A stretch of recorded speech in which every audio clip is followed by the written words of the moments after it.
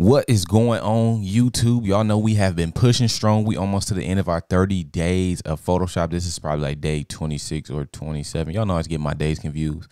But today I'm going to show you guys how to edit toes, how to fill in toenails. If your client's nails, toenails are not up to par how you want them to be, or they just need you to fix them, I'm going to show you how. But before we even get started, make sure you, I've been talking about this all the 30 days, right? If you new or you or not new here, you've been following me, go download my free editing training and my free retouching actions. The only way you can get into our five day challenge to become a better editor is if you have those free things. Because if you don't buy the free things, well, you're not buying them. But if you don't get the free things, you're not going to invest in the regular things. So I just want you to go and invest into yourself. Now, I'm going to show you really quick how I will go about fixing it. So what we're gonna do is hit Command or Control J, right? If you're on Windows or Mac, because we never edit on the background layer, we're gonna use the smudge tool. So the smudge tool looks like a little finger, and all you're gonna do is you can put your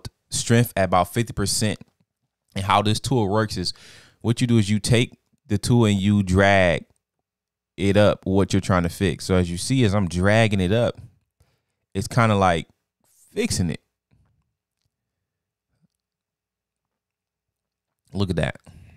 This ain't no long videos, real easy. Look at that. Let's do before and after.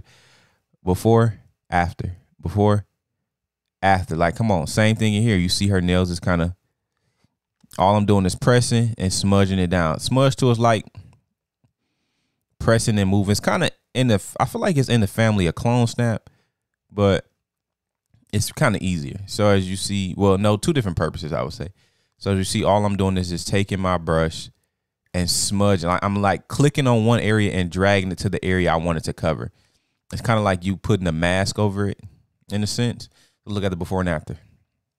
Before, after, before, after, before, after. Like, come on, man. That is fire. And what I need y'all to do is I need you to take this technique. You know, I always preach. Yeah. Take my techniques and use them for yourself in your own way. Just follow the principles, right? So I'm using the smudge tool. You can turn the strength up or down.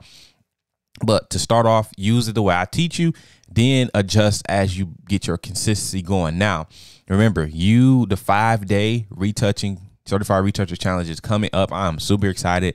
I have just finished the landing page and I am going to go in and got a couple more things I want to create, but I'm going to be pushing out applications soon. So I hope y'all ready because we are getting to it with the retouching. We gonna make it happen. I'm excited. I hope you are ready and that you're excited. We gonna make it happen, y'all. So go get them free things I have first before you even get access to that. Because I want you to have the free resources first and use the resources so you can meet me at the challenge and you are prepared. I'm Coach Jet. I'm out. Thank you.